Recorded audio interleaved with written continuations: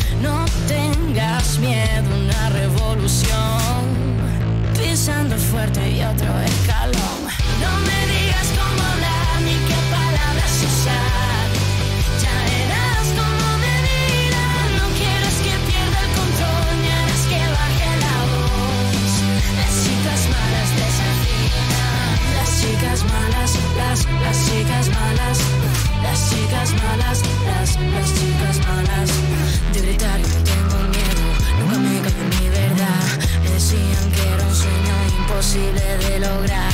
Pero lágrimas y rabia que un día yo sentí.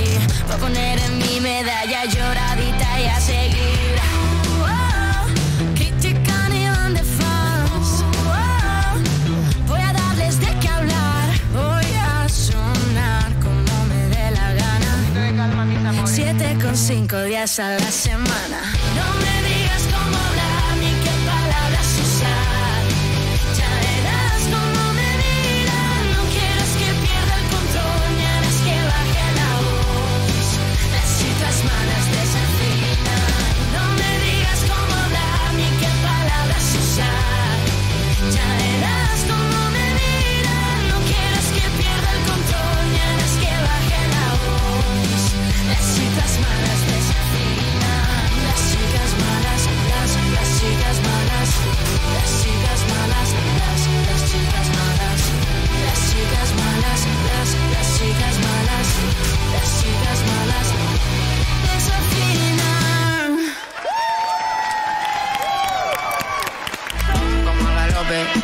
Intentando que el pedo no se me note. Pero bueno, que bailoteo, ¿no? Puedes acompañar unas horas. No me lo creo, ¿esa pelirroja?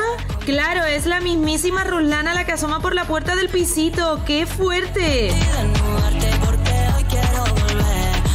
Con tan solo 18 añitos, Ruslana ha sido una de las concursantes top de la última edición de OT.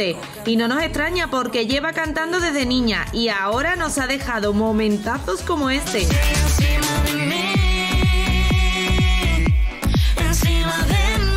Natural de Ucrania, Ruslana es una apasionada de la interpretación, la moda y el baile. Y ahora está de estreno porque saca nuevo single. Preparaos ahí abajo que viene para darlo todo la ex triunfita Ruslana. Bienvenida. No me digas cómo hablar ni qué palabras usar. Bueno, en tu canción dices que, que, que, to- que vas a seguir siendo igual.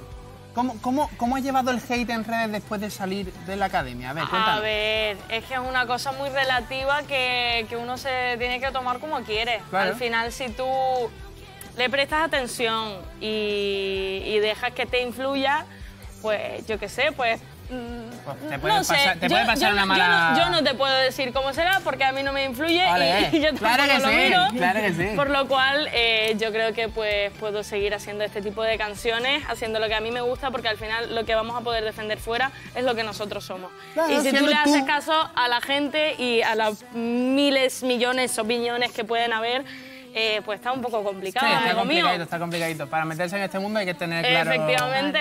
Sí, sí, sí. Claro que sí. Y tú has tocado muchos estilos en la academia, pero y la gente te ha dicho que te ha salido un poco de tu estilo, pero ¿con cuál te sientes tú más cómoda? Yo con lo que yo hago, con el rock, rock pop, eh, pero fíjate... Pero qué era, que- ¿eh? Tela, yo ¿qué siempre, no. yo siempre.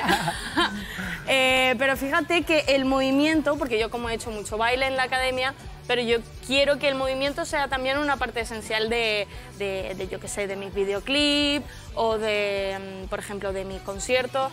Yo quiero que esté ahí presente. Así que veremos ya cómo lo compaginamos todo, pero a mí el bailar siempre, desde siempre, o Qué sea, bueno, qué es bueno. una cosa esencial en mi vida. Bueno, tiene, tiene muchos muchos fans eurofaners, eurofaners que me han comentado, que me han comentado que, que tú fuiste candidata en Eurovisión Junior de Bielorrusia. Madre. ¿A ti, te, ¿A ti te molaría eso de representar algún día España? A mí me encantaría, porque ¿Sí? claro, aquello yo de pequeña pues estuve también en muchos lados cuando, cuando vivía en Ucrania. Eh, pero mm, fíjate que me encantaría porque es un sueño representar a, a España en Eurovisión, o sea, sería poder ir a Eurovisión. Entonces irías a la preselección, ¿no? Yo sí, yo al Benidorm Fest de, de, de A cabeza, tope. de Qué cabeza. bueno, la estaremos contigo. Y, contigo. y me he enterado yo que por lo menos en 15 concursos has estado. O sea, Sí, eh, sí, esto- sí, esto o, o si, no son, si no son ¿Cómo, más. cómo que ¿Y, ti- 15? y Sí, tienes sí, pensado sí, más sí, sí. alguno presentarte alguno más? O...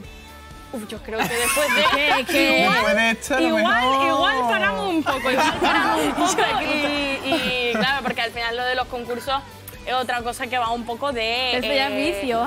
Claro, no, no, no, es que eh, es una cosa de, de interpretar, Sí, claro. de tal, pero ahora mismo me gustaría como centrarme en, en Asentarte un forjar- poquito. Claro. Sí, sí, en forjar lo que soy yo y, y tal. Claro, eso, eso mola. Vale, ¿cuál, cuál es tu imperio romano? Yo se lo pregunto aquí a, a, to- a todos los compis que vienen, que se sientan aquí Mi conmigo. imperio romano va cambiando, la verdad. Sí, ahora mismo, en este momento. Ahora mismo dormir. Ahora mismo tu imperio romano Ahora mismo es tu o sea, cama. es sí, tu sí, cama. sí, es mi cama y llevo haciéndolo eh, unas tres semanas. Te lo digo yo. bueno, bueno, a ver, es un buen imperio romano.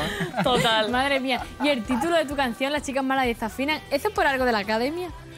Eh, hombre, sí, sí, sí, como tal, sí. Eh, Las chicas malas desafinan es un concepto que abarca muchas cosas. Vale. No solo lo de desafinar, pero sí que es verdad que hay una historia detrás de eso que Kiki Sí. eh, fue... Estuvo aquí con nosotros, súper Claro, súper guay. no, no, no, claro. Ella fue la que, la que me dijo después de una gala, tía, las chicas malas desafinan, porque yo estaba rayada por haber desafinado, bueno, cosas, cosas de la academia. Entonces ella coge y me dice, tía, las chicas malas desafinan, y ella lo suelta como si nada. Y yo digo, pero es que eres una genia, o sea, lo que acabas de decirme. Aca- lo que Acaba de hacer una canción. Gracias, Acabas de ponerle título a una canción. Y mira, lo tengo tatuado aquí también. Las chicas malas. Así Bueno, que- Kiki se tiene que sentir súper Sí, sí, sí. Hombre. ¿no? No, no, ella. mi amiga y aquí la llevo. Qué guay, qué guay. Oye, mola mucho los tatuajes, ¿eh? Muchas gracias. Estamos también.